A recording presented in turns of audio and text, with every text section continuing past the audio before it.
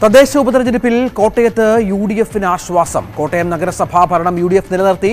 പുത്തൻതോട് വാർഡിൽ ജയിച്ചതോടെയാണ് U D എഫിന് ആശ്വാസകരമായ രീതിയിൽ കാര്യങ്ങൾ വന്നത്. ജി ശ്രീജിത്ത് ചേരുന്നു. ശ്രീജിത്ത് യു ഡി എഫിന് നിർണായകമായിരുന്നു. വാശിയേറിയ പോരാട്ടമായിരുന്നു. ഒടുവിൽ എന്താണ് ഫലം?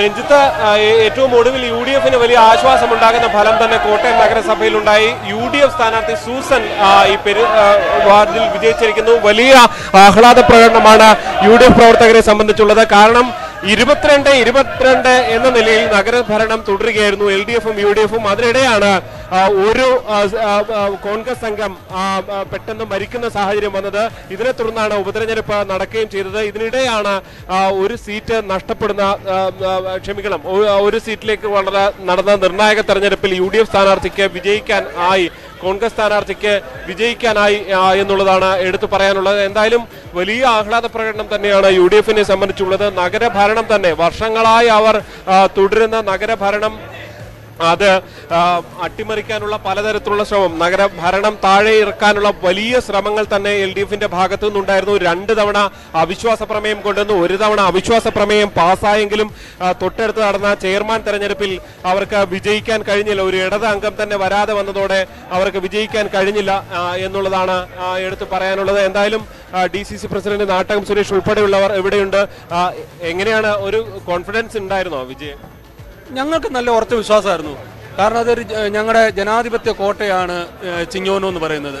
ഈ സർക്കാരിനെതിരായിട്ടുള്ള വലിയ ജനവികാരം ആ തെരഞ്ഞെടുപ്പിൽ വളരെ വലുതായിട്ട് പ്രതിഫലിക്കായിരുന്നു വോട്ട് ചോദിക്കാൻ പോയ ഓരോ സ്ഥലങ്ങളിലും ആളുകളുടെ പ്രതികരണം ഈ സർക്കാരിനെതിരായിട്ടുള്ള പ്രതികരണമായിരുന്നു.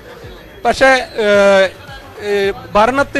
എല്ലാ സ്വാധീനവും അത് വളരെ മോശമായ തരത്തിൽ വരെയാണ് അവിടെ ഉണ്ടായിട്ടുള്ളത്. വലിയ വാഗ്ദാനങ്ങൾ കൊടുക്കുക. തെരഞ്ഞെടുപ്പ് സമയത്ത് ഓരോ വീട്ടിലും കയറിയിട്ട് പിന്നെ ജോലിക്ക് അപേക്ഷാ ഫോറം പൂരിപ്പിച്ച് മേടിക്കുക എല്ലാവരുടെയും സർട്ടിഫിക്കറ്റ് മേടിക്കുക പിന്നെ പലതരത്തിലുള്ള മറ്റു വാഗ്ദാനങ്ങൾ നടക്കുക. അങ്ങനെ ഒരു തെരഞ്ഞെടുപ്പിലെ അധാർമികമായിട്ടുള്ള എല്ലാ തരത്തിലുള്ള പ്രവർത്തനവും എൽ ഡി എഫ് അവിടെ നടത്തി.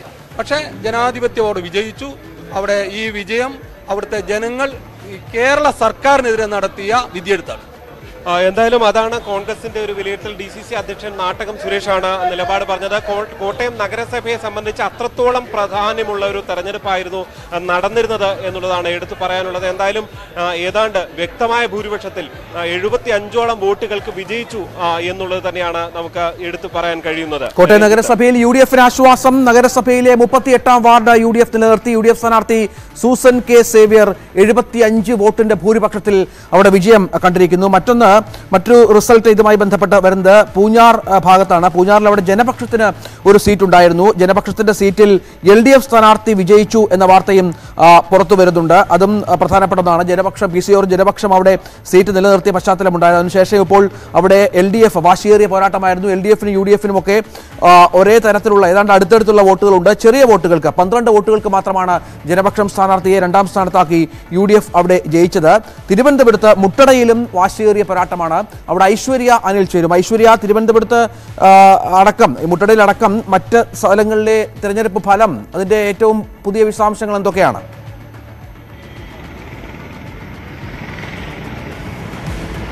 യു ഡി എഫ് സ്ഥാനാർത്ഥി ജയിച്ചു. മുട്ടടയിൽ യു ഡി എഫ് സ്ഥാനാർത്ഥി ജയിച്ചു. വാർഡിലെ വോട്ടെണ്ണൽ കേന്ദ്രത്തിലാണ്. പന്ത്രണ്ട് വോട്ടിന്. പറഞ്ഞോളൂ പറഞ്ഞോളൂ പറഞ്ഞോളൂ ഐശ്വര്യ.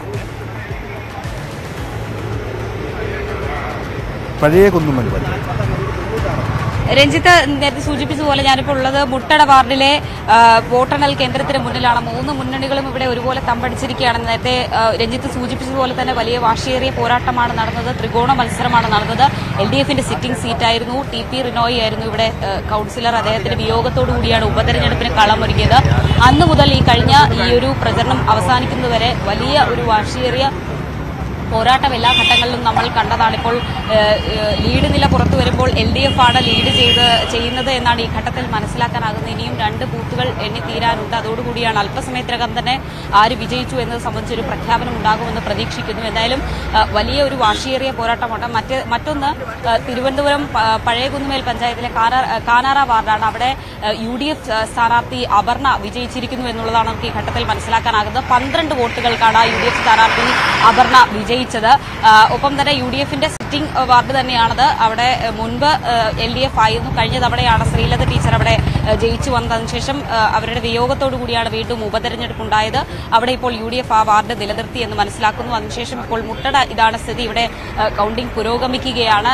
മറ്റിടങ്ങൾ അതായത് കോട്ടയം അടക്ക കോട്ടയത്ത് മാത്രമാണ് ഇത്തരത്തിലൊരു ഭരണത്തെ പോലും സ്വാധീനിക്കുന്ന തരത്തിലേക്ക് ഈ ഉപതെരഞ്ഞെടുപ്പ് പോയത്. പക്ഷേ അവിടെയും യു ഡി എഫ് ആ സീറ്റ് നിലനിർത്തി എന്നാണ് ഈ ഘട്ടത്തിൽ നമുക്ക് ലഭിക്കുന്ന വിവരം. എന്തായാലും മറ്റിടങ്ങളിൽ ഇത്തരത്തിൽ ഭരണത്തെ സ്വാധീനിക്കുന്ന രീതിയിലേക്ക് കാര്യങ്ങൾ പോകില്ല. ഇവിടെ മുട്ടടയിലടക്കം അത്തരത്തിൽ കാര്യങ്ങൾ പോകില്ല എങ്കിൽ പോലും വലിയൊരു വാശിയേറിയ പോരാട്ടമാണ്. പ്രത്യേകിച്ച് തിരുവനന്തപുരം നഗരസഭയെ സംബന്ധിച്ചിടത്തോളം നിരവധി ആരോപണങ്ങൾ ഉയരുന്ന ഘട്ടമാണ്. അതുകൊണ്ട് തന്നെ ഇത് വളരെ നിർണായകമായ ഒരു വിധിയെഴുത്തായി തന്നെയാണ് എൽ ഡി എഫും യു ഡി എഫും ബി ജെ പിയും ഒക്കെ ഇതിനെ കാണുന്നത്. അതുകൊണ്ട് തന്നെ വളരെ ആവേശത്തിൽ എല്ലായിടങ്ങളിലും B J P B J P പ്രവർത്തകരുണ്ട് U D F പ്രവർത്തകരുണ്ട് എനിക്ക് പിന്നിൽ കാണുന്ന എൽ ഡി എഫ് പ്രവർത്തകരുണ്ട്. എല്ലാ പ്രവർത്തകരും രാവിലെ മുതൽ അതായത് പത്ത് മണിക്കാണ് വോട്ടെണ്ണൽ ഒമ്പതരയോടുകൂടി തന്നെ അവരുടെ എത്തിക്കഴിഞ്ഞിരുന്നു. അവരുടെ തമ്പടിച്ചിട്ടുണ്ട്. എന്തായാലും അല്പസമയത്തിനകം ഇതിന്റെ ഒരു അന്തിമ ഫലം അറിയാൻ കഴിയും. അതിൽ പോരാട്ടമാണ്. ഈ പത്തനംതിട്ട മൈലപ്രയിൽ മൈലപ്രയിലെ ഒരു ഫലം കൂടി വരുന്നുണ്ട്. മൈലപ്രയിൽ L D F seat U D F പിടിച്ചെടുത്തു എന്നുള്ളതാണ്. അവിടെ അഞ്ച് അഞ്ച് എന്ന നിലയിലാണ് സ്വതന്ത്ര നിലപാട് നിർണായകമാകും എന്ന വിവരവും പുറത്തു വരുന്നു. അങ്ങനെ സംസ്ഥാനത്തെ പത്തൊൻപത് തദ്ദേശ വാർഡുകളിലെ തെരഞ്ഞെടുപ്പ് ഫലം വന്നുകൊണ്ടിരിക്കുകയാണ്. കോട്ടയത്തായിരുന്നു നിർണായകം അവിടെ യു ഡി എഫ് സ്ഥാനാർത്ഥി ജയിച്ചതോടെ അവിടെ യു ഡി എഫിന് ആശ്വാസമായ സാഹചര്യമുണ്ട്. ഇപ്പോൾ മുട്ടടയിലെ ദൃശ്യങ്ങൾ മേയർ മേയർ ആര്യരാജനടക്കം അങ്ങോട്ടേക്ക് വന്നുകൊണ്ടിരിക്കുന്ന ദൃശ്യങ്ങളാണ് നമ്മൾ കാണുന്നത്. മുട്ടടയും തിരുവനന്തപുരത്തെ മുട്ടടയും നിർണായകമായ പോരാട്ടം. മൂന്ന് മുന്നണികളും തുല്യ പോരാട്ടം കാഴ്ചവെച്ച വാർഡ് കൂടിയാണ്. ഐശ്വര്യ അനിലാണ് വിവരങ്ങൾ പങ്കുവച്ചത്. ഇടവേള.